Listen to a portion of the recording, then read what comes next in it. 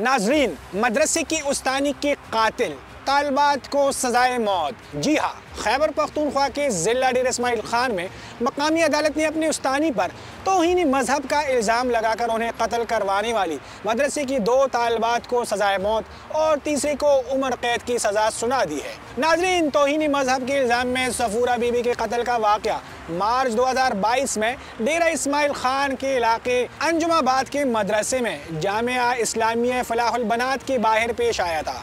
जिसके बाद मकामी अफराद की इतला पर पुलिस ने तीन खातन को गिरफ़्तार करके मुकदमा दर्ज किया था। डेरा इसमाइल खान के ताना कैन के एहलकारों ने मीडिया को इस वाक़े के बारे में बताया कि 19 साल सफूरा बीबी मदरसे में मालमा थी, जबकि मकतूल और उन पर हमला करने वाली खातन का ताल्लुक एक ही घराने से था और इकट्ठा ही मदरसे में पढ़ती थी।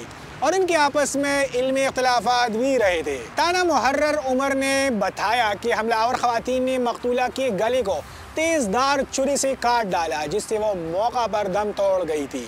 गिरफ़्तार खातन में से एक ने पुलिस को बताया कि उनकी कम उम्र भतीजी को ख्वाब में बताया गया था कि इस खातून को कत्ल कर दो। जाम इस्लामिया फलाहुल बनात में दर्स व तदरीस से मुंसलिक और उनका मालिक शफीउल्लाह ने उस्तानी के कत्ल के बाद मीडिया को बताया था कि हमला आवर खातन में से कुछ अरसा कबल मदरसे पर यह इल्ज़ाम भी लगाया गया था कि वो सही दरस नहीं देती और इसमें पढ़ने वाली गुस्ताख है। ताहम उनका कहना था कि बाद इस खातून ने अपनी बात की माफ़ी भी मांग ली थी।